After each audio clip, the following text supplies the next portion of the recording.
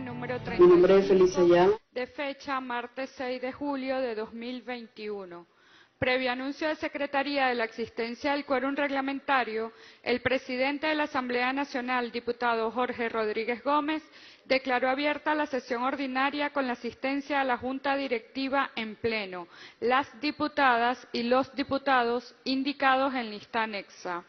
Acto seguido, el presidente ordenó dar lectura del acta de la sesión ordinaria correspondiente al día martes 22 de junio de 2021, la cual, una vez sometida a votación, resultó aprobada por unanimidad. Seguidamente, el presidente ordenó dar lectura a la cuenta.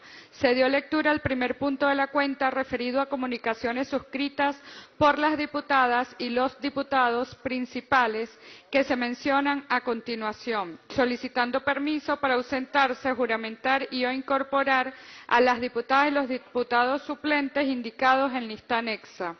En el segundo punto de la cuenta se leyó comunicación suscrita por la diputada Asia Villegas, presidenta de la Comisión Permanente de las Familias, la Libertad de Religión y de Cultos, mediante la cual adjunta el proyecto de ley sobre la promoción y uso del lenguaje con conciencia de género y solicita la urgencia, eh, la urgencia parlamentaria. En este punto, el presidente sometió a votación la urgencia reglamentaria y, una vez aprobada, ordenó a Secretaría incluirla en el orden del día. El tercer punto de la cuenta estuvo referido a comunicación suscrita por el diputado Ricardo Ignacio Sánchez Mujica, presidente de la Comisión Permanente de Educación, Salud, Ciencia, Tecnología e Innovación, mediante la cual adjunta el proyecto de ley fomento de los procesos educativos alternativos de educación universitaria. En el cuarto punto de la cuenta se leyó comunicación suscrita por el diputado Ricardo Ignacio Sánchez Mujica, presidente de la Comisión Permanente de Educación, Salud, Ciencia, Tecnología e Innovación, mediante la cual adjunta el proyecto de ley fomento de plataformas tecnológicas para las instituciones de educación universitaria. El quinto punto de la cuenta estuvo relacionado a comunicación suscrita por los diputados Rubén Limas, Oscar Ronderos, Luis Martínez y la diputada Angelita Mayo, mediante la cual presenta el proyecto de ley orgánica de ciudades inteligentes, sostenibles y resilientes para Venezuela. En el sexto punto de la cuenta se leyó comunicación suscrita por la Comisión Permanente de Seguridad y Defensa de la Nación, mediante la cual adjunta informe de gestión correspondiente al primer semestre de 2021. A continuación, el presidente solicitó dar lectura a la propuesta del orden del día. Una vez leída, el presidente concedió el derecho de palabra al diputado Luis Parra, quien propuso la modificación del orden del día para incluir otro punto. Inmediatamente, el presidente concedió el derecho de palabra al diputado Pedro Carreño, quien adversó dicha propuesta de modificación. Una vez finalizado el debate, el presidente sometió a votación la propuesta del diputado Luis Parra, la cual resultó negada. Inmediatamente, el presidente pidió dar lectura a la propuesta al orden del día, la cual, una vez leída, resultó aprobada por mayoría.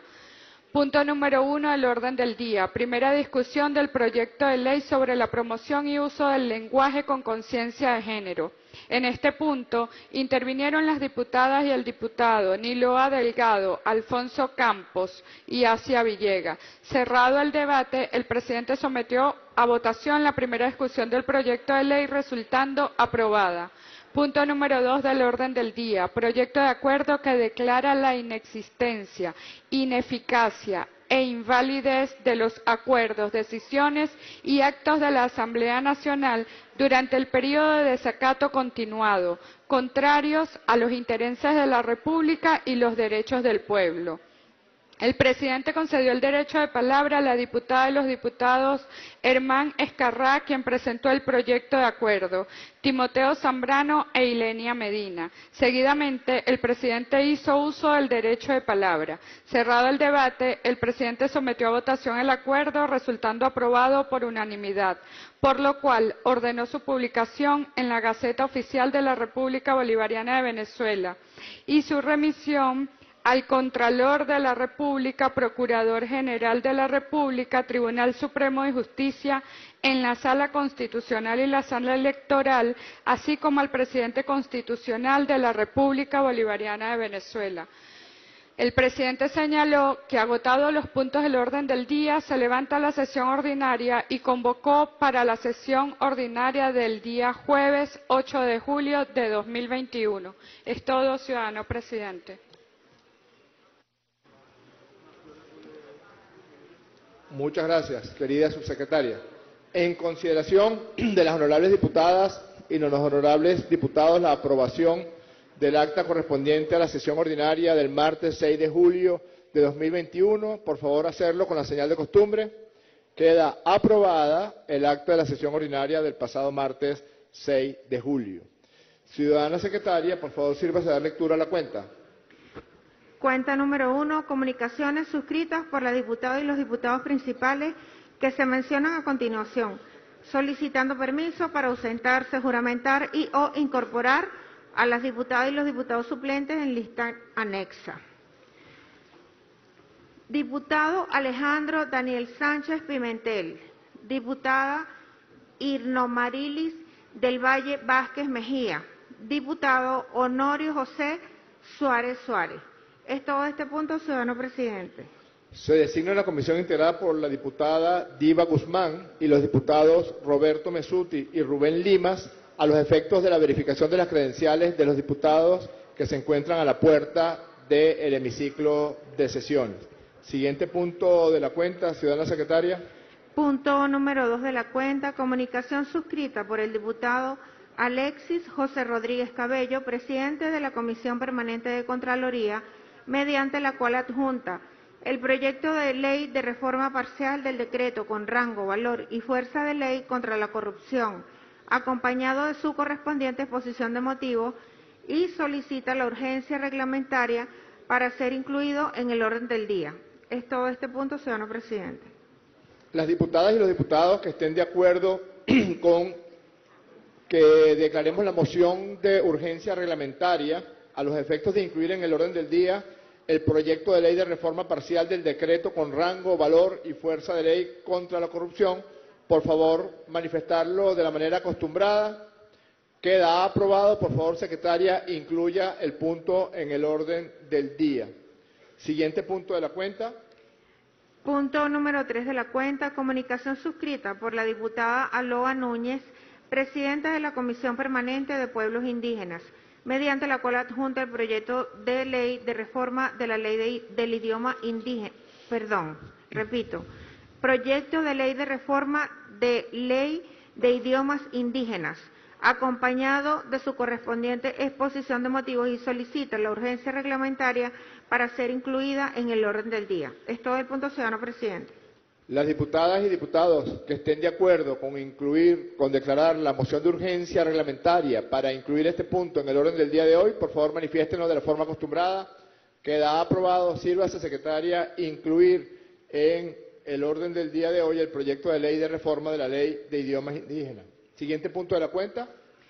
Punto número cuatro de la cuenta. Comunicación suscrita por el diputado Ricardo Ignacio Sánchez, presidente de la Comisión Permanente de Educación, Salud, Ciencia, Tecnología e Innovación, mediante la cual adjunta el proyecto de ley de participación popular y Contraloría Social en Salud, acompañado de su correspondiente exposición de motivos. Es todo, señor presidente en cuenta para ser considerado en orden del día de sesión ordinaria futura. Siguiente punto de la cuenta, ciudadana secretaria. Punto número 5 de la cuenta, comunicación suscrita por el diputado Alexis José Rodríguez Cabello, mediante, perdón, presidente de la Comisión Permanente de Contraloría, mediante la cual adjunta el proyecto de ley de Contralorías Estadales y Municipales, acompañado de su correspondiente exposición de motivos en cuenta. Incorpórese también en la agenda del plan legislativo para las próximas sesiones ordinarias. Siguiente punto de la cuenta, ciudadana secretaria. Es todo de la cuenta, ciudadano presidente. Muchas gracias, querida secretaria. Por favor, la comisión de diputadas y diputados para la verificación de las credenciales correspondientes.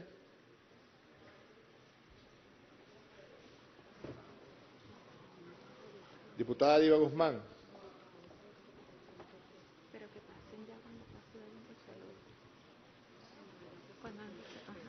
Diputada Diva, ¿se cumplió con la verificación de las credenciales correspondientes de la diputada y los diputados electos a ser incorporados en sesión el día de hoy? Sí, presidente, hemos verificado y todo se encuentra a rigor de ley. Pueden proceder a su juramentación. Sírvanse, por favor, ocupar sus curules y vamos a proceder a la juramentación de la diputada y los diputados.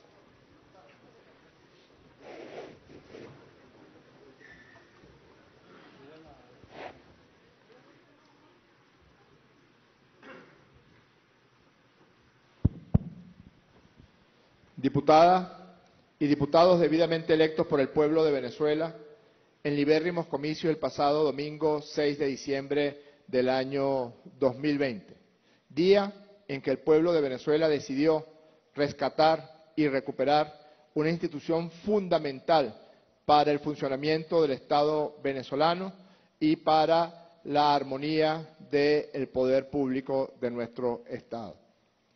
Juran ustedes cumplir y hacer cumplir las leyes, reglamentos de la República, la Constitución de la República Bolivariana de Venezuela, en sus misiones como legisladores para hacer leyes buenas para el pueblo de Venezuela y en la función contralora que está debidamente establecida en la Constitución.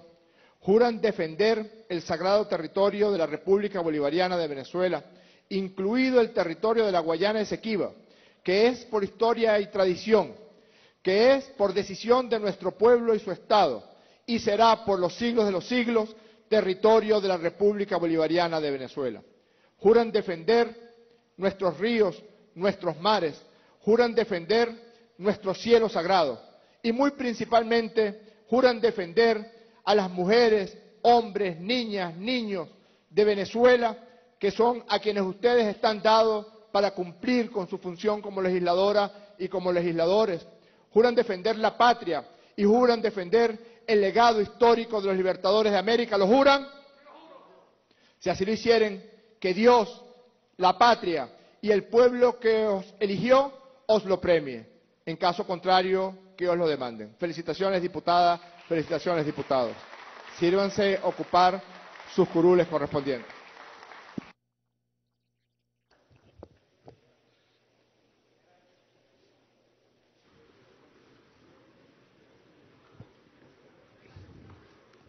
Está abierto el derecho de palabra para punto de información. Diputado Ángel Rodríguez.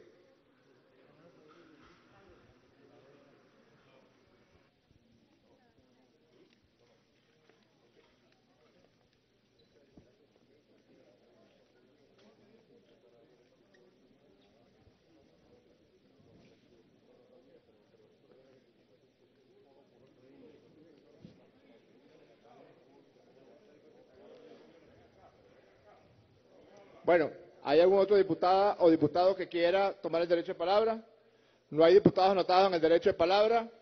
Pasemos al siguiente punto. Por favor, ciudadana secretaria, sírvase leer la propuesta de orden del día correspondiente. Propuesta de orden del día. Primera discusión del proyecto de ley. Un segundo, secretaria. Diputados. Diputados Ángel Rodríguez y Pedro Carreño, por favor.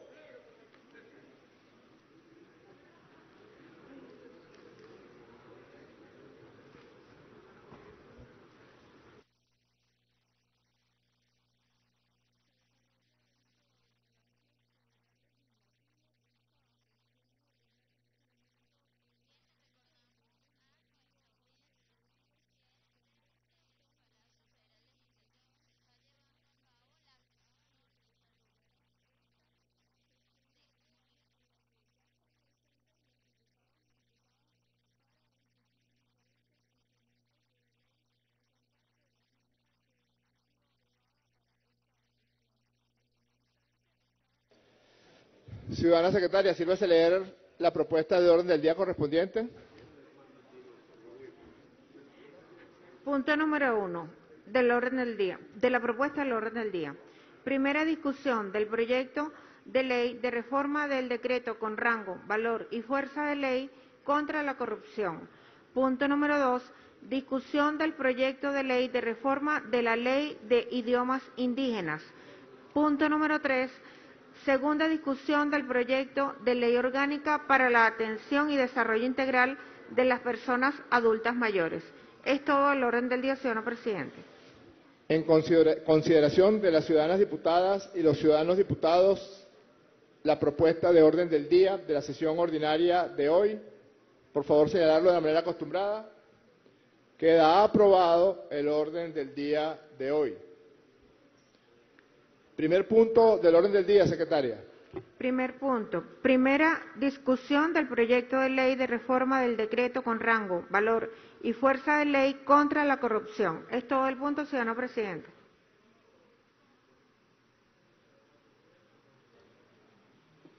Voy a dejar en el derecho de palabra para, para la presentación del proyecto de reforma de ley al diputado Alexis Rodríguez Cabello. Solicita la tribuna de oradores, se le concede.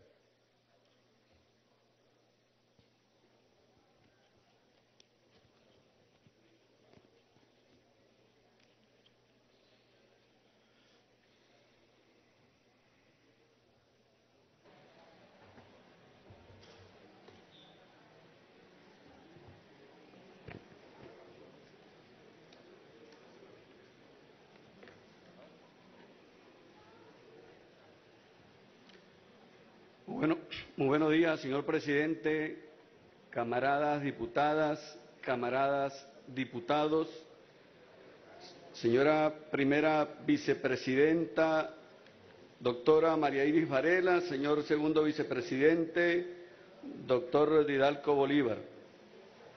La Comisión Permanente de Contraloría de este cuerpo, de acuerdo a las facultades otorgadas en el artículo 204, numeral 2 de nuestra Constitución de la República Bolivariana de Venezuela, ha tomado la iniciativa, luego de un análisis articulado de la norma que regula la materia de corrupción, presentar el proyecto de reforma parcial del decreto con rango, valor y fuerza de ley contra la corrupción sancionada el año 2014.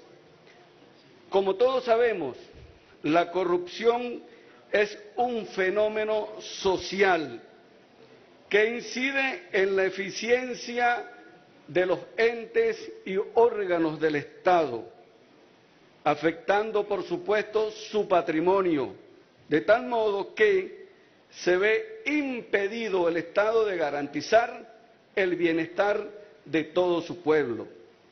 Por otra parte, los cambios sociales, económicos y políticos ocurren cada vez con una mayor rapidez debido a la, actualización, entre otras, de la tecnología, formas de comunicación y, por ende, la actividad criminal como fenómeno social también muta con mucha rapidez.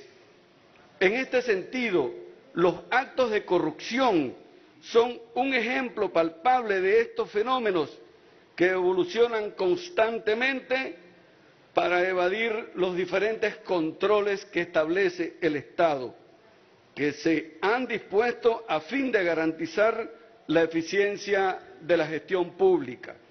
Tales circunstancias generan una necesidad creciente de evaluar periódicamente los marcos legales para actualizar y adecuar estos ordenamientos jurídicos a fin de hacer más eficiente el Estado y todos sus órganos. Como todos sabemos, nuestro país es un país asediado en donde algunas potencias del mundo se han dado a la tarea de financiar los actos de corrupción en nuestro país. De tal manera que financian la corrupción de funcionarios quienes trabajan en las diferentes empresas productoras de divisas de nuestra patria, así como también empresas generadoras de servicios públicos, tratando de crear en nuestra sociedad el desasosiego y la inestabilidad. Y después que estos funcionarios los toma la justicia, entonces se hacen llamar perseguidos políticos. Y, o si no, son resguardados en aquellos países que promueven la corrupción en nuestra patria, en donde la mano larga de la justicia de nuestra patria no puede llegar, por supuesto. Por lo anteriormente señalado, esta Comisión Permanente de Contraloría se permite presentar el proyecto de reforma parcial del decreto con rango, valor y fuerza de ley contra la corrupción del año 2014 en cuanto a los siguientes aspectos. Primero, se promueve ampliar el concepto de patrimonio público, incluyendo las diferentes formas de organización popular que reciben recursos y bienes públicos. Esta forma de organización social son las comunas, consejos comunales y que no están tipificados en la ley para que la misma ley lo señale en caso de hacer un uso inadecuado de esos recursos que recibe. Incluir en la norma el principio de corresponsabilidad por lo que deben regirse las y los funcionarios que administren y custodien bienes públicos conforme a lo tipificado en nuestra República Bolivariana de Venezuela. La obligación como política pública de formación mediante la cual los diferentes entes del Estado deberán formular, implementar y evaluar políticas públicas educativas y, otras que consideren convenientes con el fin de prevenir los actos de corrupción. En otras palabras, camaradas parlamentarias, camaradas parlamentarios, es la educación que deben de tener todos los entes, promover la educación a fin de evitar el fenómeno de la corrupción. Por otra parte, se propone ampliar y fortalecer la participación de particulares y formas de organización del poder popular en la formulación, supervisión de la ejecución y evaluación del presupuesto de los diferentes entes como alcaldías y gobernaciones. Se propone establecer también que además de las personas señaladas en la ley que deben presentar la declaración jurada de patrimonio dentro del lapso correspondiente y en las condiciones que establece la ley, se propone también establecer que los obreros al servicio del Estado, los integrantes de las unidades de gestión financiera de los diferentes entes de organización popular, como las comunas, como los consejos comunales, comunas y las directivas de las organizaciones sindicales y consejos de administración de las cajas de ahorro también presenten su declaración jurada de patrimonio como lo establece la ley. Se sugiere además incluir la obligación que debe tener las máximas autoridades de consultar el registro de inhabilitados antes de hacer alguna designación dentro de sus entes. También se recomienda que forme parte de esta norma procedimientos que viene llevando a cabo la Contraloría General de la República a través de resoluciones como la sistematización y que se encuentre tipificado en la ley de todo su proceso, como, es, como es sabido, la Contraloría General de la República tiene todo su proceso que rige el sistema de control fiscal, lo tiene automatizado. Y debemos saber que este proceso cuenta a su vez con tres subprocesos o tres subsistemas. Sistema de registro de órganos y entes del sector público, en donde se recoge toda la información de funcionarias, funcionarios, así como diferentes entes del Estado. Sistema administrativo de registro de órganos y entes, que es un sistema de consulta. Y el sistema para la presentación de la, declaración jurada del patrimonio. Como, todo, como es sabido, nosotros desde el año 2009 no presentamos declaración jurada de manera manual. A partir del año 2009 es un proceso automatizado, pero la ley no lo contempla como tal. Se propone también establecer la responsabilidad de los diferentes funcionarias o funcionarios encargados de los recursos humanos del registro de toda esta información. Y se propone crear en la norma la obligatoriedad que tienen las máximas autoridades, que no está en la norma, de hacer la declaración jurada de patrimonio anualmente. Y por último, dentro de las propuestas, se propone incorporar los diferentes epígrafes a los diferentes artículos y, por supuesto, el lenguaje de género. Quiero, quiero finalizar mi intervención con una reflexión y es la siguiente.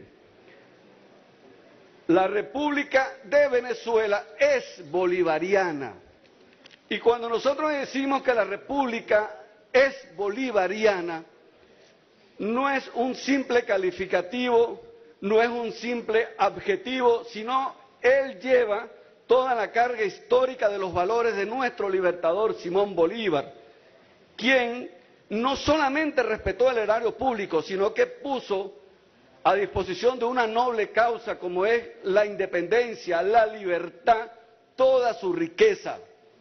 Y tuvo que inclusive ser eh, enterrado allá en Santa Marta, Colombia, con una camisa prestada. Y quiero, en base a eso, ejemplificarlo con una carta que, que más que una carta es una respuesta que le da nuestro padre libertador a Santander, por allá en el año 1826, cuando ya nuestro padre Bolívar había llegado al cenic de la gloria. Santander le escribe una carta solicitándole que intervenga en una compañía que debía actuar en los primeros pasos para llevar a cabo la realización del canal de Panamá. Como debemos de saber, Panamá era parte de la Gran Colombia o de Colombia la Grande. Y entonces nuestro padre Bolívar le contesta con esta carta que con esta, señor presidente, me permito, la voy a leer y, y con ella cierro mi intervención. El libertador le responde el 22 de febrero de 1826 y le dice, mi querido general, he visto la carta de usted en que me propone sea yo el protector de la compañía que va a establecer para las comunicaciones entre los dos mares por el Istmo. Después de haber meditado mucho lo que usted me dice, me ha parecido conveniente no solo no tomar parte en el asunto, sino que me adelanto a aconsejarle que no intervenga usted en él. Yo estoy cierto que nadie verá con gusto que usted y yo, que hemos estado y estamos a la cabeza del gobierno, nos mezclemos en proyectos puramente especulativos y nuestros enemigos, particularmente los de usted, que están más inmediatos, darían una mala interpretación a lo que no encierra más que el bien y la prosperidad del país. Esta es mi opinión con respecto a lo que usted debe hacer y por mi parte yo bien resuelto a no mezclarme en ese negocio ni en ningún otro que tenga un carácter comercial. Muchísimas gracias, colegas parlamentarias, colegas parlamentarios.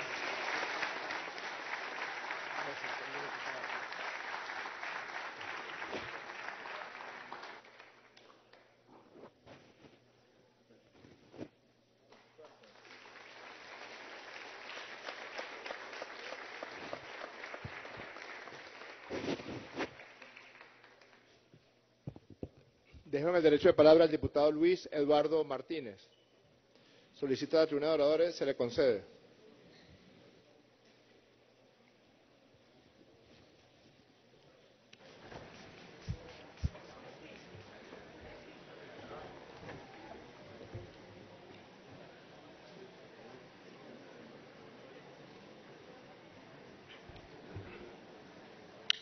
Recordemos al padre de la patria. Todo funcionario público a quien se le convenciera en juicio sumario de haber malversado o, tomado para sí de los fondos públicos de 10 pesos arriba queda sujeto a la pena capital. Simón Bolívar, en Lima, el 12 de enero de 1824. Señor presidente, señora vicepresidente, señor vicepresidente, secretaria, subsecretaria, diputadas, diputados. Hemos oído con muchísimo interés la presentación que ha hecho el diputado Rodríguez Cabello. Y adelantamos que en esta primera discusión, conocidos los enunciados, la oposición democrática va a votar positivamente. Queremos sí hacer algunas consideraciones que seguramente será posible enfatizar en ellas, enriquecerlas en el transcurso de la discusión en la comisión e incluso en las consultas públicas. A algunos de esos radicales que hay en todas partes del mundo, conversando, yo les insisto una y otra vez que nadie, absolutamente nadie, llega a gobernar queriéndolo hacer mal. Puede que nos equivoquemos, puede que cometamos errores, pero cuando alguien se propone por el corazón para llegar a una importantísima responsabilidad pública, especialmente por elección, es porque su sueño, su visión es hacerlo bien. De tal manera que partiendo de esa premisa, damos por buena esta propuesta que se hace y que evidentemente es necesaria, urgente en la Venezuela de hoy. Es cierto que la corrupción es casi tan vieja, quizás tan vieja como el hombre mismo. Yo no sé si pudiera interpretarse como un acto de corrupción cuando Adán se comió la manzana prohibida. Y entiendo que sí, porque Dios le había instruido acerca de no hacerlo. Pero en cualquier caso, si no proviene desde el mismo origen del hombre, está muy cerca. Pero es nuestro deber, legisladores, hacer todo lo necesario en absoluta sintonía con los funcionarios gubernamentales a todo nivel para evitar que tan mal extraordinario se propague especialmente en esta época de crisis. De lo señalado por el diputado Rodríguez Cabello, queremos mencionar eh, algunos aspectos y señalar otros que quedaron por fuera y que sé que serían incorporados. Primero es cierto que se necesita un régimen sancionatorio y la ley seguramente cumplirá con eso. Un régimen sancionatorio para cualquier acto de corrupción, cuanto hechos de corrupción, que actúe incluso para evitar que se caiga en la tentación de corromperse. Pero ese régimen de sancionatorio tiene que ser lo suficientemente fuerte para garantizar no solamente el castigo, insisto, sino también la disuasión. Es solo una idea en este momento, pero en la reforma que se adelanta del Código Penal quizás convenga darle un tratamiento muy especial, mucho más eh, riguroso a los delitos de lesa pública. Luego está el tema mencionado y yo, universitario que soy, profesor universitario que soy, coincido plenamente, coincidimos todos, que tenemos que garantizar la educación, educación, una cultura más que una educación en contra de la corrupción. Y entonces, más allá de esta ley, en estrecha sintonía con las instituciones de carácter educativo venezolano, con cualquier instancia que participe en el hecho educativo, hacer posible que desde niños nuestros chicos, nuestras chicas, adquieran esa cultura contra la corrupción. Es necesario, diputadas y diputados, garantizar un gobierno abierto, transparente. Es indispensable disminuir los trámites. Al diputado Jorge Rodríguez y a los miembros de la Comisión de diálogo, paz y reconciliación. Recientemente se nos hizo mención en una de tantas reuniones que hemos efectuado de la necesidad de considerar una ley para agilizar los trámites administrativos. Mientras más eh, complicados son los trámites en cualquier instancia gubernamental, más sujetos estamos a un hecho de corrupción. Hay que utilizar, naturalmente, los mecanismos que hoy tenemos, los instrumentos, las plataformas modernas para hacer ese gobierno transparente, abierto. Ayer en la Comisión de Administración y Servicios me sentí muy contento de ver una propuesta de ruta metodológica para la consulta pública, en el caso específico de la ley del agua que se presentó, donde se recurre a la telemática y a medios que hoy están a nuestra disposición para hacerla mucho más eh, posible. Pero en este caso, reitero, es necesario que Big Data, inteligencia artificial se incorpore ya como hecho práctico a la lucha contra la corrupción. Es necesario también, indispensable, profundizar, insistir en lo que son las actividades multilaterales porque el hecho de corrupción no solamente es nacional, sino transciende nuestra frontera. Que se garantice entre gobiernos la cooperación para que no haya oportunidad de fuera de Venezuela disfrutar, de caudales que son de carácter público.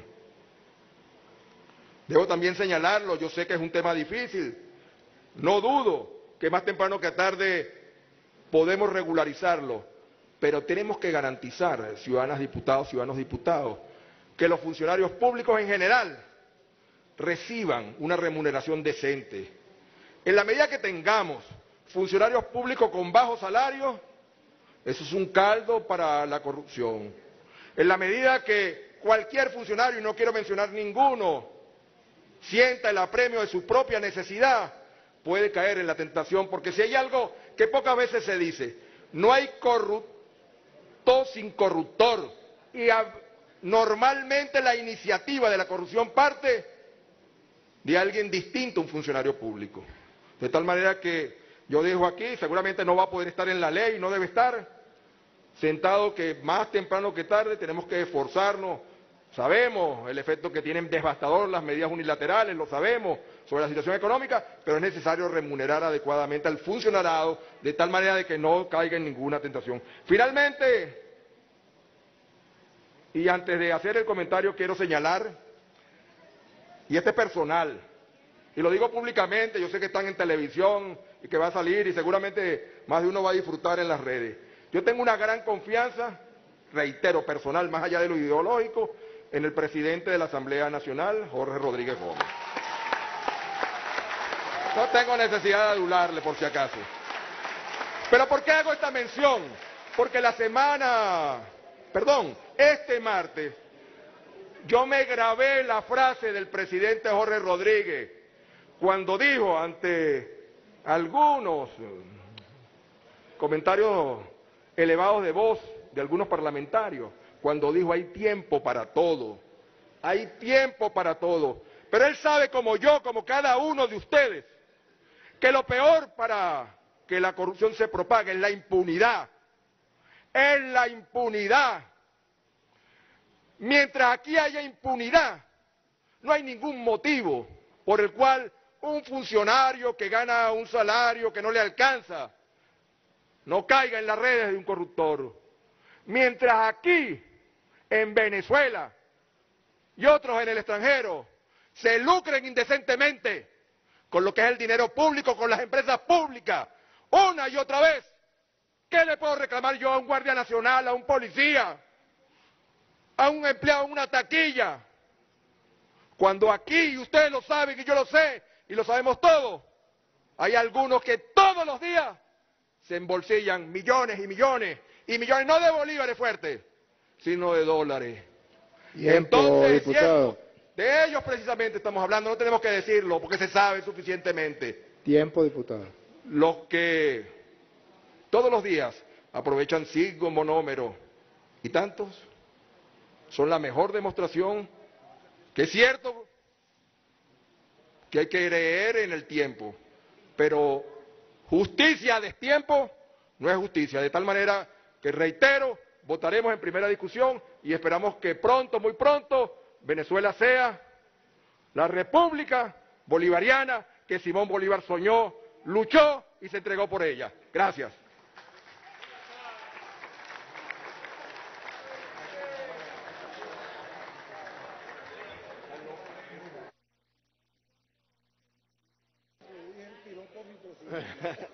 Déjame el derecho de palabra al diputado Eric Mago.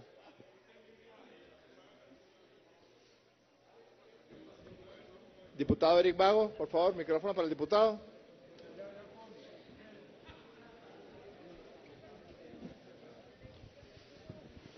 Gracias, presidente. Permiso para retirarme el tapaboca. Bueno, en primer lugar, darles la gracia a nuestro presidente de la Asamblea Nacional. Definitivamente surtió efecto estar al frente de la mesa de diálogo por la paz. Es notorio con el planteamiento que hizo el, el señor que me antecedió en la palabra. Gracias, colegas parlamentarios. Con la venia del camarada presidente, quiero comenzar mi intervención leyendo este artículo de la Constitución de la República Bolivariana de Venezuela, artículo 141, de la Administración Pública.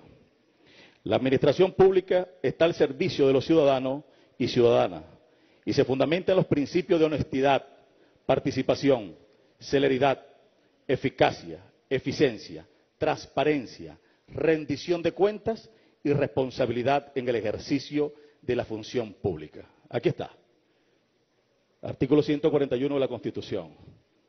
Aquí comienza la ley contra la corrupción. Aquí comienza la lucha contra la corrupción.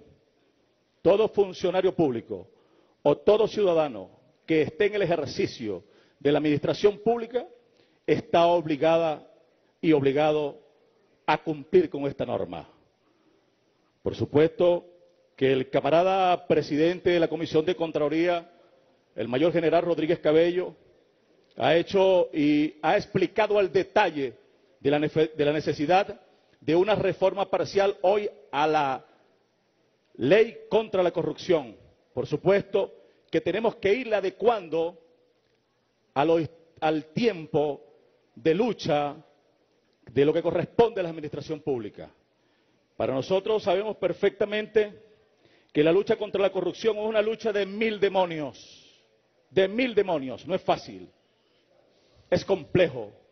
Sin embargo, es necesario, muy necesario, aplicar un instrumento legal infalible para garantizar la lucha contra la corrupción. Y cuando digo que no es fácil es porque lo encontramos por todas partes. Aquí en esta misma instancia parlamentaria, en este poder que en una oportunidad del pueblo venezolano se le otorgó a la oposición apátrida. ¿Y qué hicieron con esta institución? ¿Qué hicieron con este poder? Hicieron de esto un antro de corrupción para hacerle daño al pueblo de Venezuela. Convirtieron de esto un acto de corrupción para eh, cabalgar por el mundo, por el mundo, haciendo uso de los recursos del pueblo venezolano como les dio la gana. A eso se dedicó esa oposición venezolana en aquel entonces. Fíjense que el pueblo de Venezuela ha estado pendiente de todo y cada uno de sus movimientos. Y vaya qué rechazo. Sus jefes hoy en el exterior, escondidos, haciendo uso y dilapidando con aberraciones con los recursos del pueblo venezolano. Por eso la importancia que hoy nosotros vayamos a esta reforma y adecuándola sobre, el tiempo eh, en la medida de las posibilidades.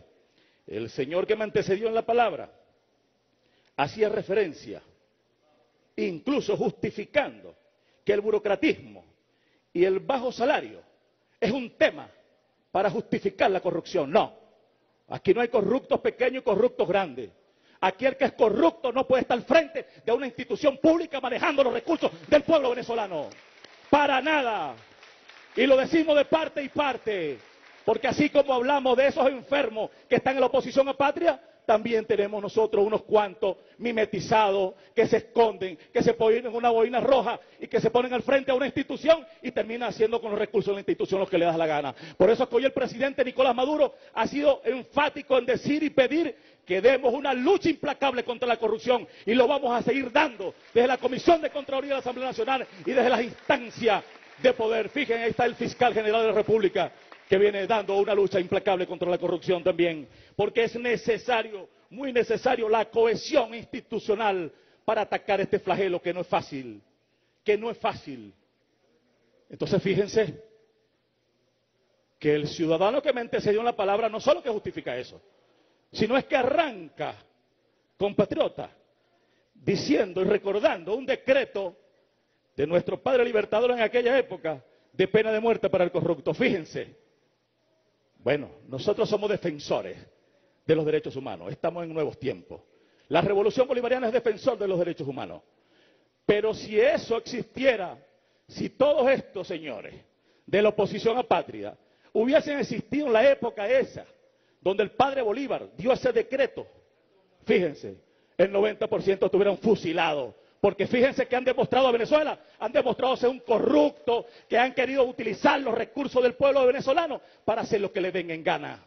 De tal manera, ciudadanos presidente y colegas parlamentarios, que nosotros, desde la Comisión de Contraloría de la Asamblea Nacional, en la medida de nuestras posibilidades, al frente nuestro mayor general Rodríguez Cabello y un equipo que le acompañamos allí, vamos a estar pendientes de ir adecuando lo que tengamos que adecuar en la ley contra la corrupción, porque eso es un principio de un revolucionario y de una revolucionaria. Así que bueno, diputado. Gracias, presidente. Es todo. Colegas parlamentarios, colegas parlamentarias. Gracias, diputado. Déjame el derecho de palabra al diputado Pedro Carreño.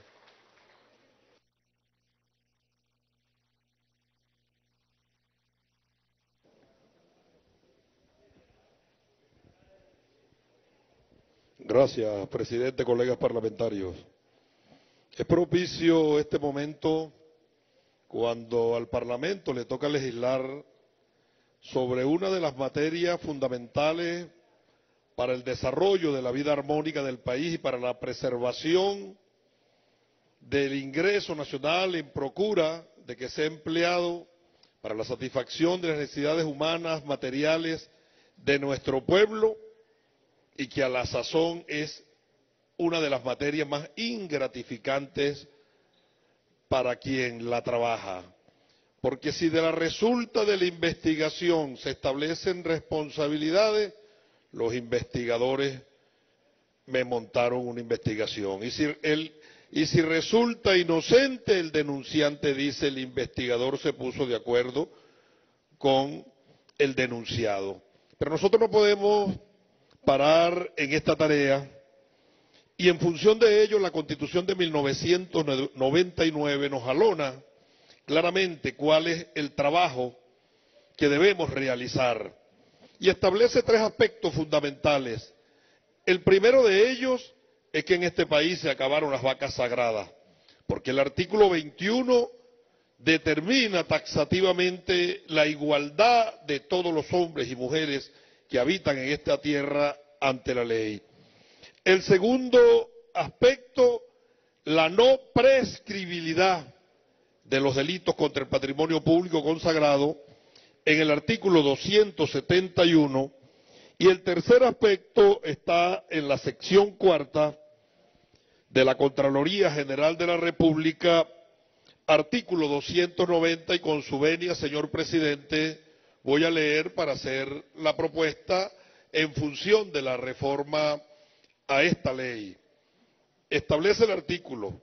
La ley determinará lo relativo a la organización y funcionamiento de la Contraloría General de la República y del Sistema Nacional de Control Fiscal. Le da nacimiento a un sistema, pero también establece que la ley lo determinará. ¿Cuál ley? Tanto la ley de la Contraloría General de la República como la ley contra la corrupción. Y en ese sentido he pedido la palabra porque creo que es pertinente, cuando se trabaje esta materia, que nosotros le demos al Sistema Nacional de Control Fiscal autonomía e independencia, no solo funcional y operativa, sino que también administrativa, porque los que ejercen la función de contralor, de ministerio, institutos autónomos, empresas del Estado, alcaldías, gobernaciones y administración descentralizada están en una disyuntiva. Dependen operativamente de la Contraloría General de la República, pero administrativamente de la institución a la cual supervisan. Y si la supervisan, no le mandan los recursos y para que le manden los recursos tienen entonces a veces que asumir una actitud cómplice. Por lo tanto, colegas parlamentarios, se presenta la oportunidad estelar de que nosotros le demos concreción en esta reforma de ley al Sistema Nacional de Control Fiscal para seguir avanzando en la lucha frontal contra este flagelo. Es todo, señor presidente, colegas parlamentarios.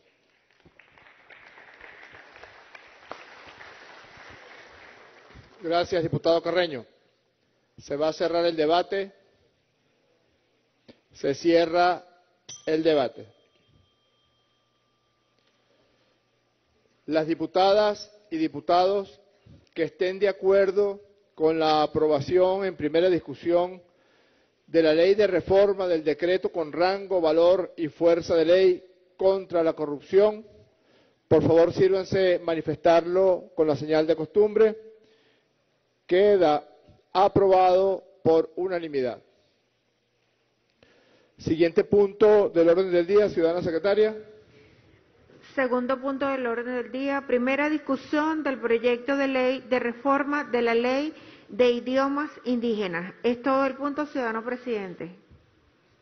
Voy a dejar en el derecho de palabra con un abrazo, porque está mucho mejor de su salud, a la diputada Nicia Maldonado.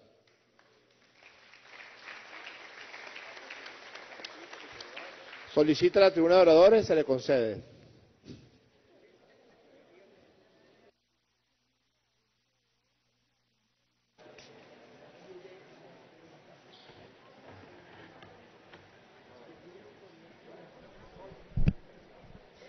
Bien, de esta manera se da inicio al segundo punto del orden del día en primera discusión del proyecto de ley de reforma de la ley de idiomas indígenas por parte de la diputada Nicia Maldonado.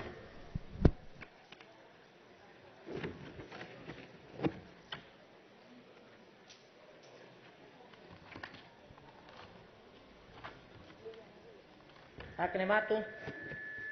Firma. Hermano presidente, doctor Jorge Rodríguez Gómez, hermana primera vicepresidenta, doctora Iris Varela, hermano segundo vicepresidente, doctor Hidalgo Bolívar, hermana secretaria Rosalba Gil y subsecretaria Inti Hinojosa. A usted, el indio brazo duro, Nicolás Maduro, el hijo de Huaycaipuro. También al jefe del bloque de la patria, capitán Diosdado Cabello, al jefe del bloque de la oposición, diputado José Gregorio Correa. También a ustedes, a los que nos observan, a la mano peluda, babosa, que nos observan y nos amenazan. Y por supuesto al pueblo de Venezuela. Con el permiso de la Madre Tierra, y de nuestros ancestros y de nuestros guías espirituales, comandante Hugo Chávez, el libertador Simón Bolívar y los que volaron invicto con la vida y que nos acompañan hoy y que son nuestros protectores. Me encuentro aquí, señor presidente, ante ustedes, ante esta augusta Asamblea Nacional honorable que el pueblo se dio, autoridad legítima que se ha dado el pueblo el pasado 6 de diciembre, que en seis meses ha sancionado leyes inexorables para el bienestar del pueblo venezolano.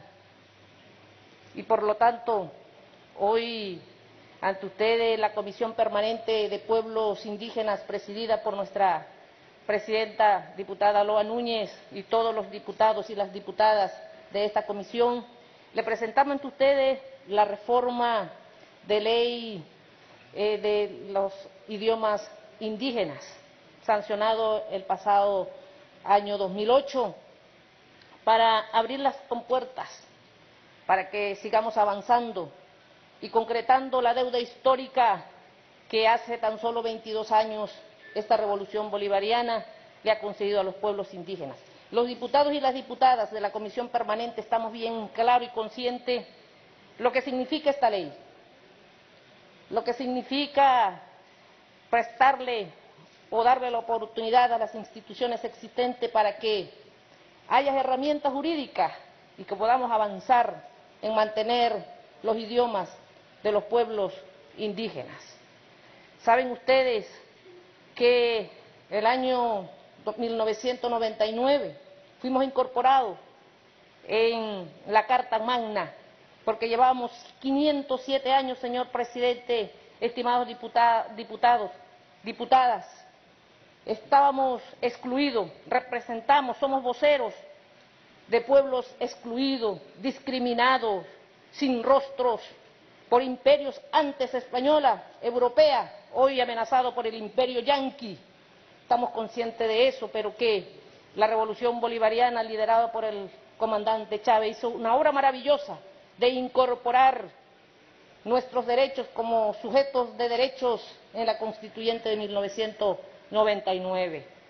Aquí estamos y por eso con nuestros ancestros que volaron en resistencia digna repetimos el poema que siempre nos ha acompañado. Arrancaron nuestros frutos, cortaron nuestras ramas, quemaron nuestros troncos, pero no pudieron matar nuestras raíces porque fuimos rescatados por la revolución bolivariana y hoy estamos aquí y seguimos avanzando. Tenemos o existen varios idiomas de los pueblos indígenas, que a la que se comprometió saldar la deuda histórica nuestro comandante. Fue aquí mismo, en este Palacio Federal Legislativo, el 2 de febrero del año 1999, en el marco de la toma de posesión, el comandante Hugo Chávez juraba ante la moribunda constitución que impulsaría las transformaciones necesarias para que la nueva república tenga una carta magna adecuada a los nuevos tiempos. Así lo hizo, así seguirá siendo de la mano de nuestro presidente Nicolás Maduro Moro por los siglos de los siglos. Por eso, señor presidente, esta ley que hoy presentamos tiene mucho que ver con la permanencia de los pueblos indígenas. Dice lo, que establece la ONU en los estudios que se han hecho en el mundo, que existen más de 7.000 idiomas en el mundo, de los cuales 6.700 son lenguas indígenas. Aquí le decimos idiomas indígenas. En 90 países, 370 millones de pueblos, 5.000 pueblos, culturas distintos, 2.680 en peligro de extinción. Y por lo tanto, qué bueno, qué bueno que la ONU haya declarado como Decenio Internacional de los Pueblos Indígenas 2022-2032 para llamarle al mundo a la conciencia, para preservar esta, o este patrimonio insustituible como son los idiomas de los pueblos indígenas. Pero no basta solo declaraciones, no basta solo que se establezca en las constituciones, hace falta que se convierta. Nosotros decimos que se hable. Y aquí hacemos lo propio, el Estado venezolano, a través de la institución facultada como es la Asamblea Nacional, hoy está trabajando y ha trabajado. En el 2008 sancionó la ley y estamos presentando a través de la comisión competente esta reforma de ley para seguir avanzando, para darle instrumentos jurídicos y avanzar sobre los nichos lingüísticos al Instituto Nacional de los Idiomas de los pueblos indígenas, junto a las autoridades, a las organizaciones, comunidades de los pueblos indígenas de este país. Por lo tanto, sometemos a su consideración, a la discusión, este proyecto de reforma de ley de los pueblos indígenas. Señor presidente, quería con su venia saludar a los pueblos indígenas en sus idiomas para que ustedes vean que no se entienden. Hay 40 pueblos indígenas. Quiero saludar, comenzando desde Oriente hasta el Occidente, por territorios, los idiomas que allí se hablan, solo once. Comienzo, Oltu Guaraporemantu, Cariña Mesa de Guanipa, Catuquete Maraiza Guaraotuma, Delta, Guacupra Medatún, Guampotón, Pemón, Gran Sabana. ika tahamonen kalgibirnechi hibi autana ature maipure to digitawak owe yanomami sierra parima acremato Fimmo, Yecona, Altorinoco, Caura, Betuari. Maita Yacendú, Geral, Río Negro, Maroa, Guainía. Taque, Han, Taque, Chamarua, Piaroa, Autana. Chande Guaitará, Pumé, Yaruro, Chaparralito, Cajón de Arauca, Cuiva.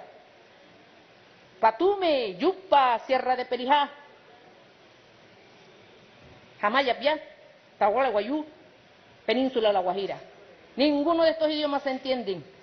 Solamente una muestra de 11 idiomas que existen en este país somos 40.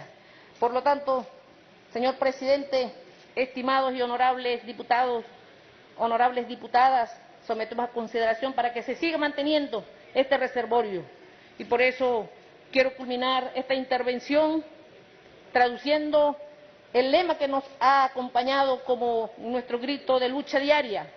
Patria socialista, venceremos, traduzco en idioma yecuana bien caribe, fatari, tujumoto, kichanacatore, traduzco, el sol de Venezuela nace del Esequibo, traduzco en buen idioma yecuana, Caribe. Venezuela de Washi, Nejaka, Esequiboña. Venezuela de Washi, Nejaka, Esequiboña. Hasta la victoria siempre. ¡Viva Chávez! ¡Viva la patria! Muchas gracias.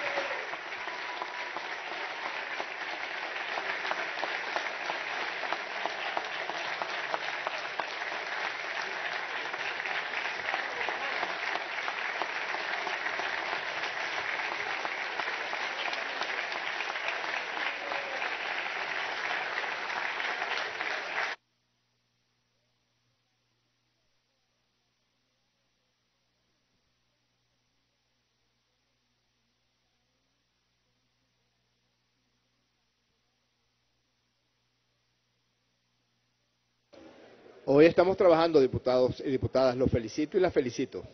No todo puede ser regaño.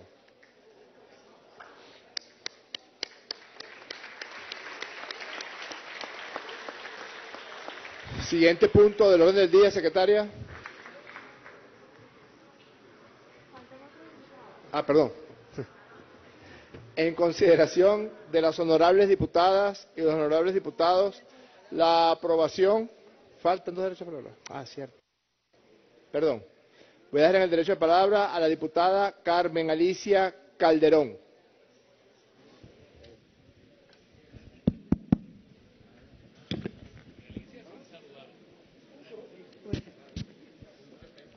Tainagwini Surine, Surene Bujuni, Juan Datei, Guacari, Mapiruri Ayala Dijevite.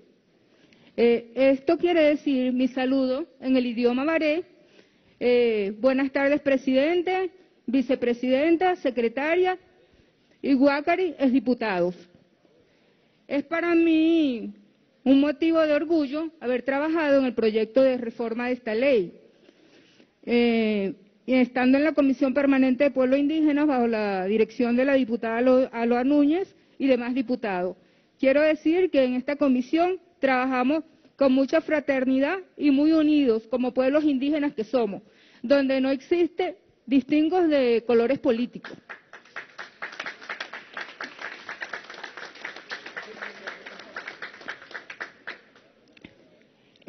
debo destacar y voy a luchar para ello como diputada electa por el Estado Amazonas. No quiero que esta ley sea letra muerta, porque los pueblos indígenas, cuentan con muchas leyes importantes y a la fecha han sido letra muerta. Y para ello debe existir el compromiso, y existe de esta comisión, para que el legado de nuestros ancestros se transmita de generación en generación. No debe ser motivo de vergüenza ni de discriminación hablar una lengua, lengua indígena, porque esos casos se dan en muchas instituciones públicas, lo he visto, o privadas en el estado Amazonas, que un niño que habla lengua indígena, para evitar ser acosado, se cohibe de, decir que habla lengua indígena. No, para nosotros tiene que ser un motivo de orgullo que eh, trabajar en que se cumpla esta ley y para que permanezca en el tiempo. Muchas gracias. Es todo, presidente. Muchas gracias, diputada. Voy a dejar en el derecho de palabra a la diputada Cariela Aray. Micrófono para la diputada, por favor.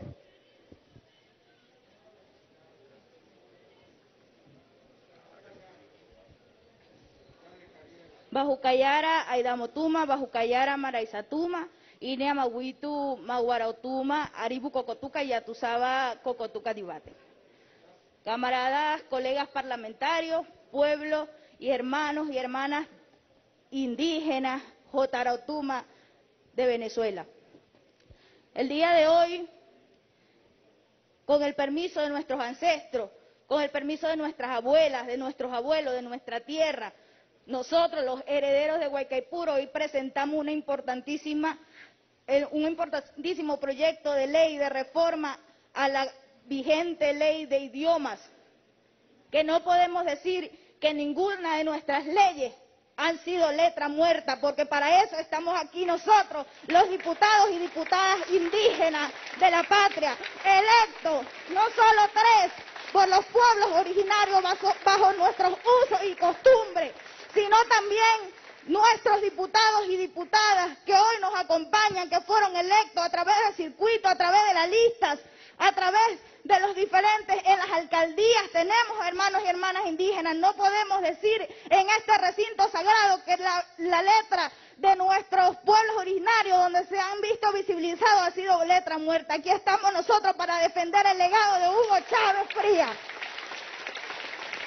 A propósito de nuestra ley, a propósito de lo que nosotros hoy planteamos ante esta honorable Asamblea Nacional, hermanos y hermanas, lo hacemos con, con el compromiso, con la imprescindible necesidad de proteger, de preservar y de darle continuidad y fuerza a nuestros idiomas indígenas.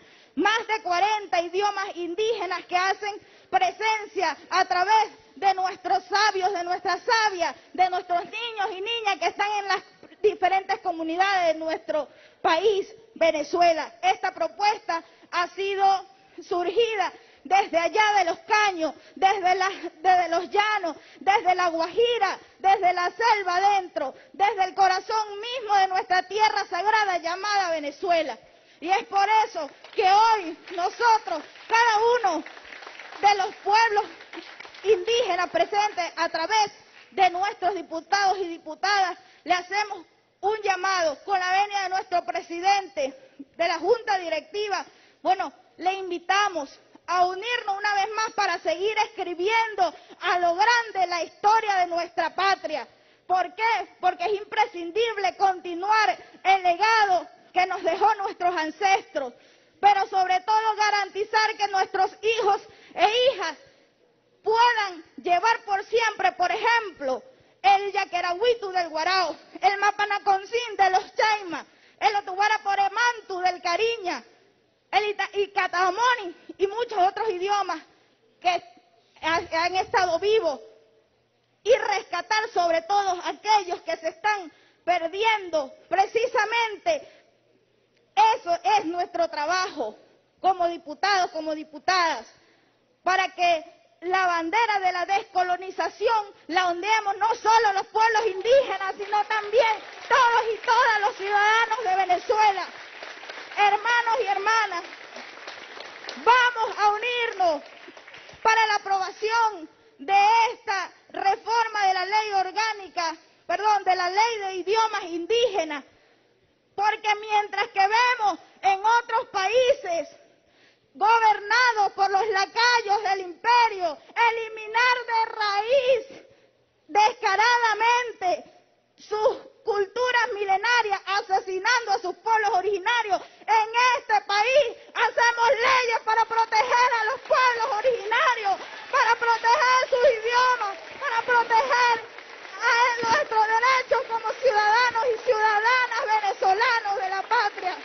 Es por eso hermanos y hermanas, hoy presente en esta gloriosa Asamblea Nacional, que reafirmamos una vez más que los pueblos indígenas fortaleceremos lo que con esencia nosotros somos. Y por supuesto, defenderemos lo que por divinidad de nuestros ancestros nosotros hemos heredado Muchísimas gracias hermanos y hermanas. Es todo ciudadano presidente. Muchas gracias, querida diputada.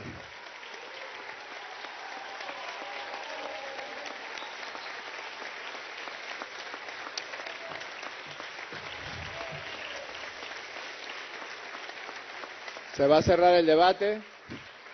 Se va a cerrar el debate, diputadas y diputados. Se cierra.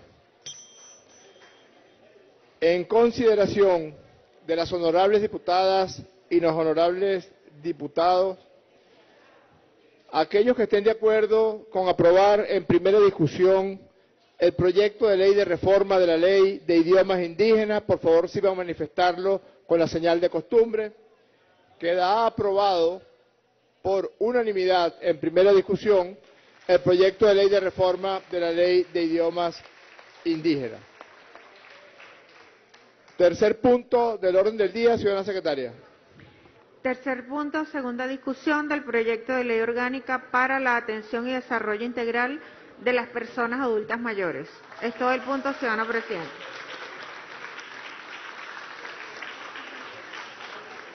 Se encuentran presentes en el hemiciclo de sesiones como invitados especiales de la Asamblea Nacional representantes de los movimientos sociales de nuestras abuelas y de nuestros abuelos y representantes de la así llamada tercera edad, que es un término desde mi punto de vista inadecuado.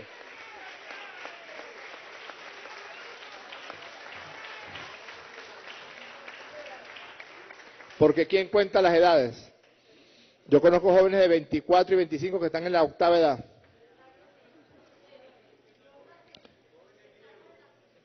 Y deciré que estará siempre en la segunda edad. Bueno, adelante, secretaria. Vayamos artículo por artículo, títulos, etcétera. Título de la ley, secretaria. Adelante. Título de la ley. Proyecto de ley orgánica para la atención y desarrollo integral de las personas adultas mayores. Es todo el punto, señor presidente. En consideración, no habiendo observaciones, se considera aprobado. Siguiente punto, ciudadana secretaria. Acápite, capítulo 1, disposiciones generales. Es todo, señor presidente. Acápite en consideración. No habiendo observaciones, se considera aprobado. Adelante. Epígrafe, objeto. En consideración, aprobado. Siguiente punto.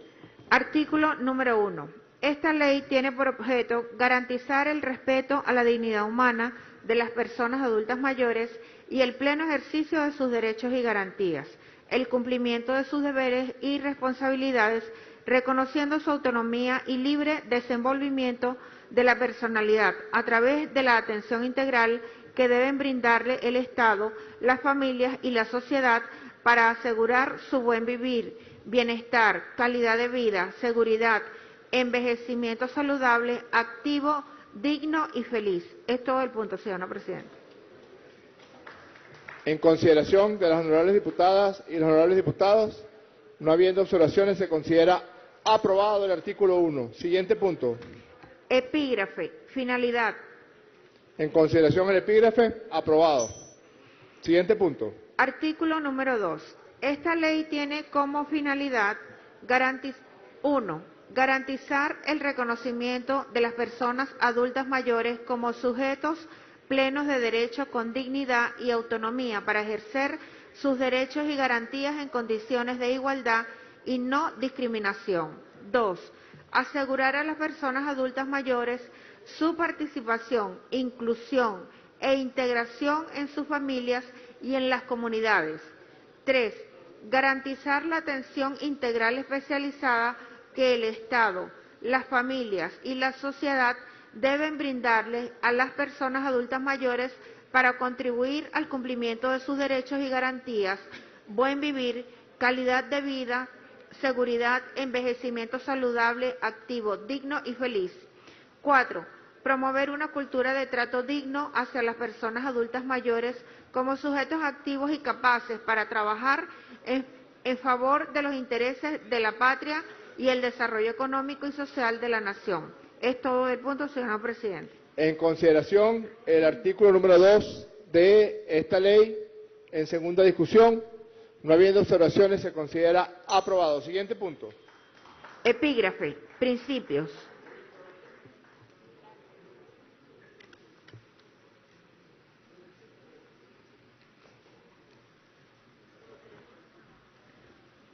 Lea el epígrafe, secretaria. Epígrafe. Principios. En consideración. Aprobado. Un segundo, secretaria. A los jefes de las bancadas de la patria y de la oposición, queremos combinarlo a que las diputadas y diputados que se encuentren en los alrededores del hemiciclo de sesiones, por favor ingresen al hemiciclo de sesiones a los efectos de conservar el quórum correspondiente. Primer aviso. Siguiente punto, secretaria. Artículo número 3. Esta ley se rige por los siguientes principios. 1. Reconocimiento y valorización de las personas adultas mayores como sujetos de derecho, su papel en la familia y la sociedad, así como su contribución en el desarrollo económico y social de la nación. 2. Dignidad, independencia, protagonismo y autonomía de las personas adultas mayores. 3. Autorrealización y libre desenvolvimiento de la personalidad. 4. Igualdad y no discriminación. 5. Equidad e igualdad de género. 6. Solidaridad y corresponsabilidad en la atención integral de las personas adultas mayores. 7. Participación, integración e inclusión plena y efectiva de las personas adultas mayores en las familias y en la sociedad. 8. Solidaridad y fortalecimiento de las relaciones familiares y comunitarias. 9. Atención preferencial de las personas adultas mayores en los servicios públicos. 10. Envejecimiento saludable, activo, digno y feliz. 11. Enfoque diferencial y de curso de vida para el ejercicio efectivo de los derechos de, de las personas adultas mayores. 12. Pluralidad cultural y multiétnica. 13. Trato digno de las personas adultas mayores. Es todo del punto, ciudadano presidente. En consideración de las honorables diputadas y los honorables diputados, se considera aprobado el artículo número 3. Siguiente punto, secretaria. Epígrafe. Definiciones. En consideración el epígrafe, aprobado. Siguiente punto. Artículo número 4. A los efectos de esta ley se establecen las siguientes definiciones. Personas adultas mayores son aquellas personas con edad igual o mayor a 60 años. 2. Envejecimiento. Proceso biológico con incidencia en lo psicológico y social. Su manifestación se evidencia de forma progresiva, irreversible e intransferible, en algunos casos comprometiendo las capacidades funcionales de la persona. Se experimenta a todo lo largo del ciclo vital humano y se manifiesta con cambios propios en cada etapa de la vida. 3. Envejecimiento saludable, activo, digno y feliz. Es el proceso en que se optimizan las condiciones y la igualdad de oportunidades de salud, participación y seguridad a fin de mejorar la calidad de vida de las personas a medida que envejecen, reconociendo a las personas adultas mayores como ciudadanas y ciudadanos con necesidades personales y sociales, con experiencia y sabiduría respecto a las situaciones del entorno y con capacidad para desarrollar nuevas acciones para mejorar su bienestar y vivir en torno a la mejora de su calidad de vida. Cuatro, situaciones de dependencia. Es la condición en que se encuentra una persona, adulta, una persona adulta mayor que requiere de la atención y asistencia permanente de otra para satisfacer sus necesidades básicas e instrumentales que favorecen su independencia. 5. Atención diferenciada y preferencial. Garantía de trato oportuno, eficiente, prioritario e integral por todos los entes públicos, privados y por la comunidad en general a las personas adultas mayores. 6. Autonomía. Es la capacidad que tienen todas las personas adultas mayores para tomar sus propias decisiones, garantizando su independencia, dignidad, reconocimiento de su capacidad jurídica de ejercicio, bienestar, buen vivir, calidad de vida, envejecimiento activo, así como su desarrollo personal y comunitario. Es todo el punto, ciudadano presidente. En consideración de las honorables diputadas y los honorables diputados, no habiendo observaciones, se considera aprobado. Siguiente punto. Epígrafe. Igualdad y no discriminación. En consideración el epígrafe, aprobado. Siguiente punto. Artículo número 5. Las personas adultas mayores tienen derecho a la igualdad, a la no discriminación por motivos fundados en la edad o proceso de envejecimiento.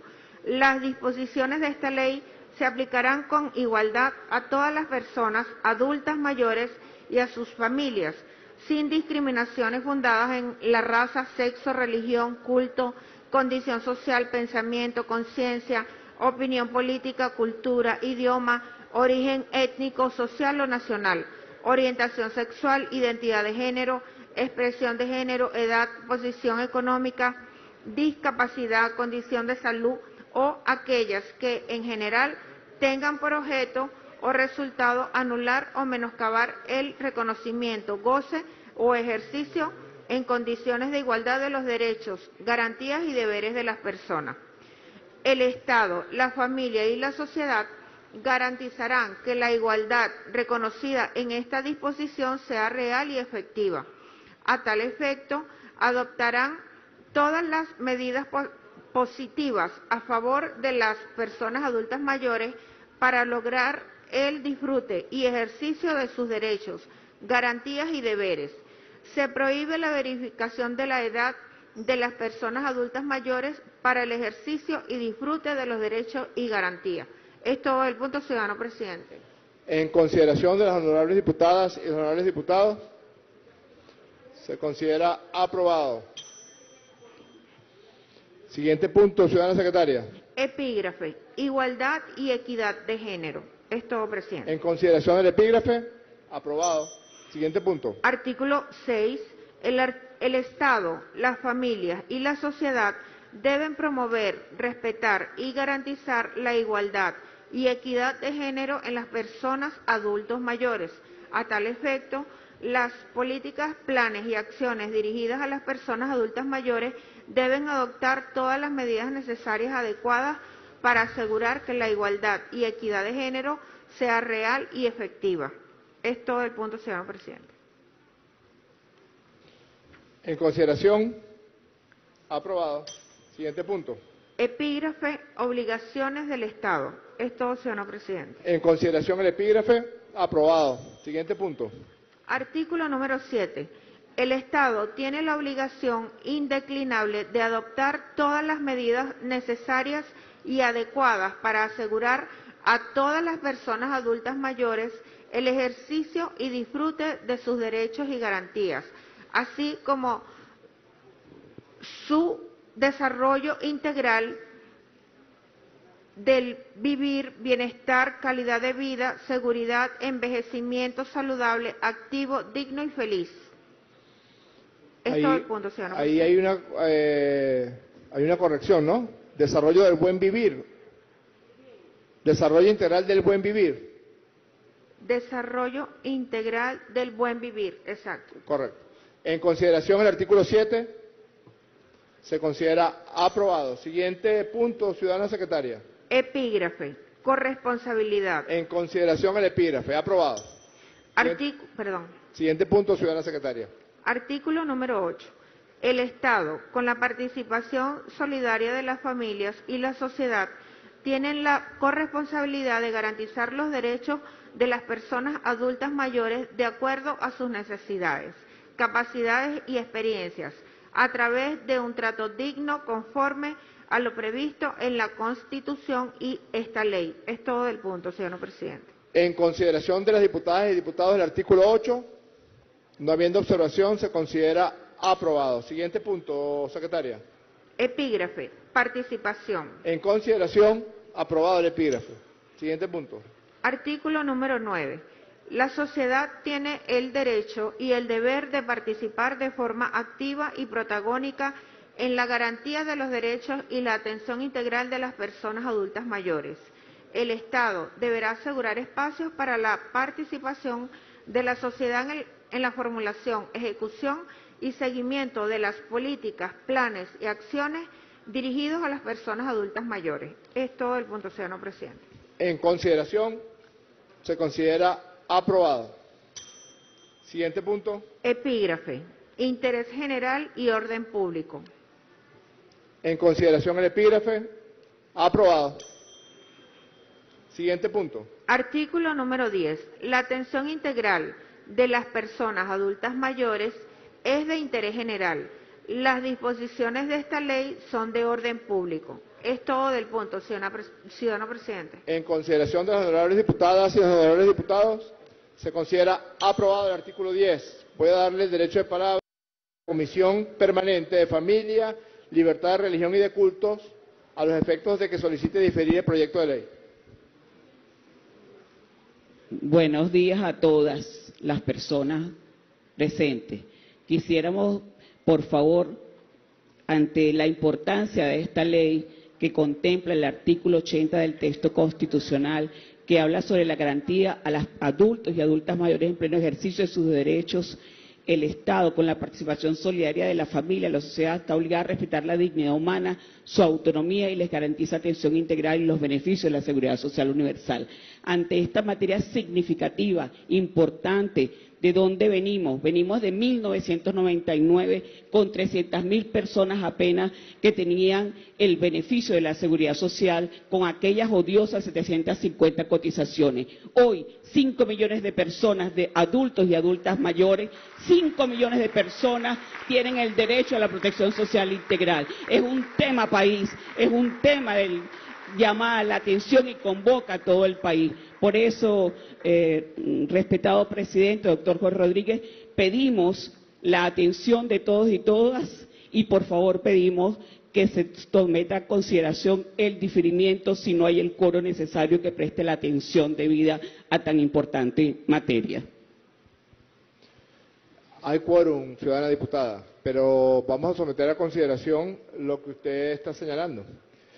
En consideración de las honorables diputadas y los honorables diputados, el diferimiento de la continuación de la aprobación. Hasta ahora llevamos 10 artículos aprobados con sus correspondientes títulos y epígrafes, pero tiene razón la diputada Villegas. Este es un tema para eh, trabajarlo con tranquilidad, con sapiencia y consideramos que es una buena práctica que vayamos aprobándolo de manera eh, sucesiva en las siguientes sesiones que convoquemos. En consideración de las honorables diputadas y los honorables diputados, el diferimiento de la aprobación en segunda discusión de la Ley Orgánica para la Protección y Atención Integral de las Adultas y los Adultos Mayores, señalarlo de la manera acostumbrada.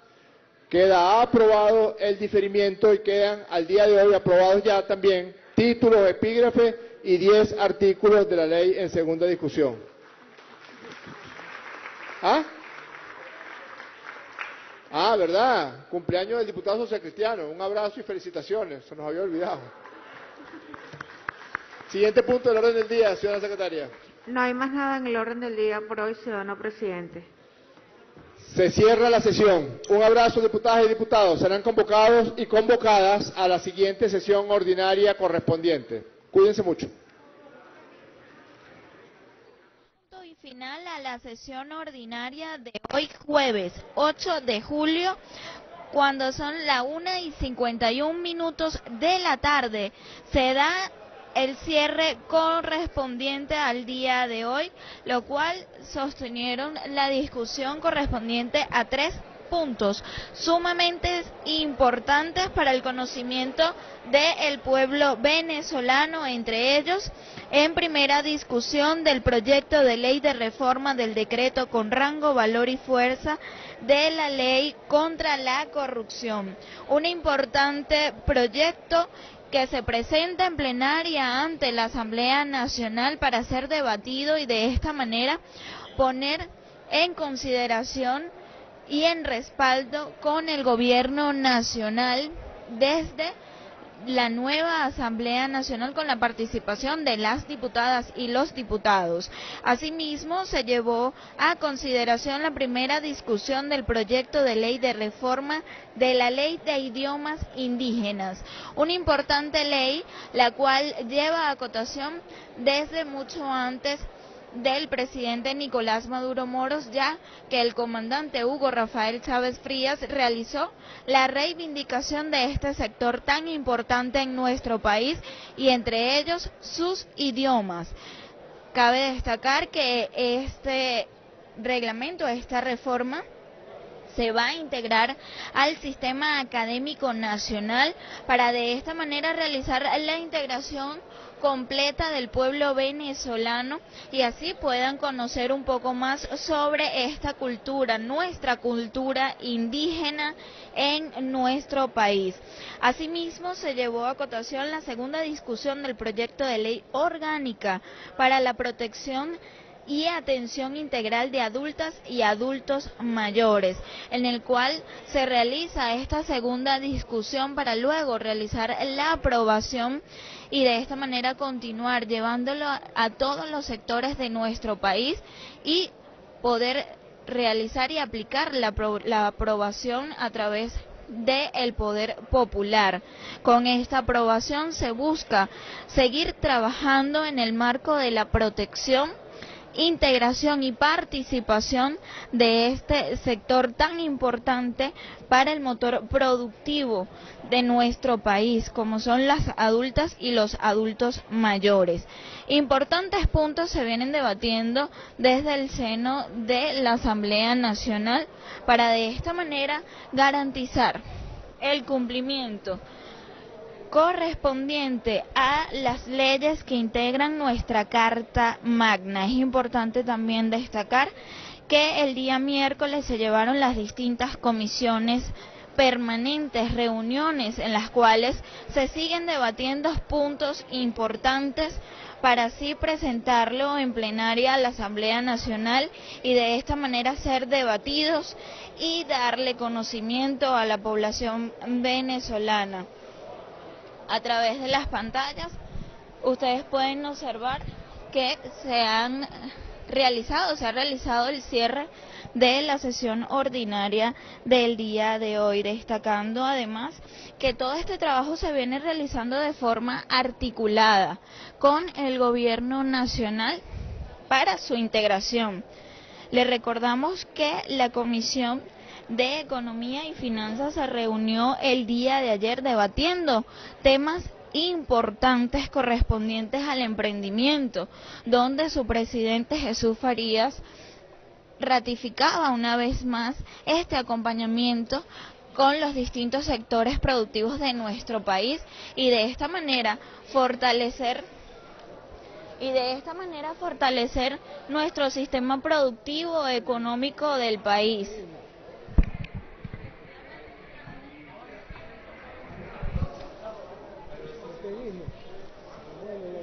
Asimismo, el diputado José Bielma Mora destacaba que esta ley de emprendimiento busca el acompañamiento económico de nuestro país para de esta manera realizar una alianza, una articulación contundente que permita el fortalecimiento económico de nuestro país.